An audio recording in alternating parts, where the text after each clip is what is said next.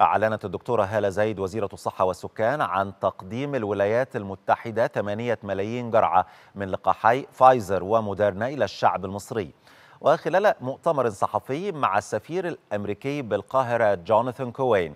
أضافت وزيرة الصحة أنه تم استلام مليون وستمائة ألف جرعة من اللقاحات على أن يتم استقبال باقي الجرعات تباعا.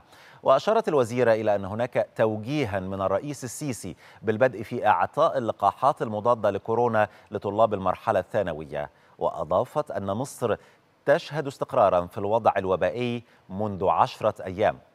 أضافت وزيرة الصحة أن عملية تطعيم العاملين بالمؤسسات التعليمية تجري على قدم وساق وأشارت إلى أنه تم تطعيم 95% بلقاح كورونا من العاملين بوزارة التعليم العالي.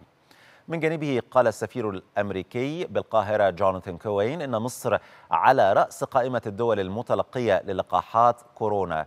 وثمن السفير الأمريكي الدعم الطبي الذي قدمته مصر للولايات المتحدة خلال ذروة الجائحة في ربيع 2020